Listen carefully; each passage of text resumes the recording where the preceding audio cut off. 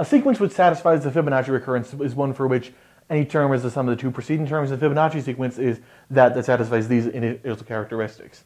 Uh, phi and 1 minus phi are the solutions to x squared minus x minus 1 equals 0, or phi is 1 plus root 5 over 2.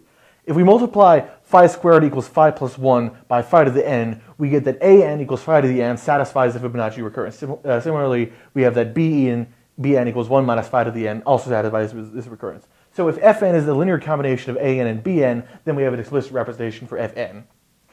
Uh, setting uh, n equals 0 gives us 0 equals alpha plus beta, and setting n equals 1 gives us 1 equals alpha times phi plus beta times 1 minus phi.